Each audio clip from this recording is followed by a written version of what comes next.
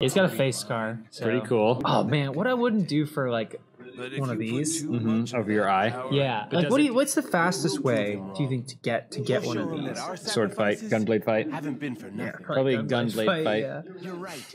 Maybe I could go to one of Patrick's uh, Gunkata practices. Well, but the gun is just going to shoot you. Guns aren't great for scars. Gun. That, I will say, my biggest my biggest complaint about guns, Charlotte, is that the scars aren't cool.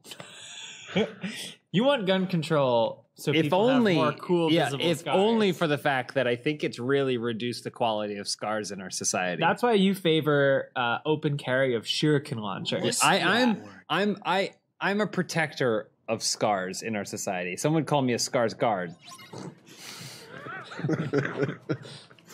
Thanks, everybody. I'll be here for the next two and a half hours.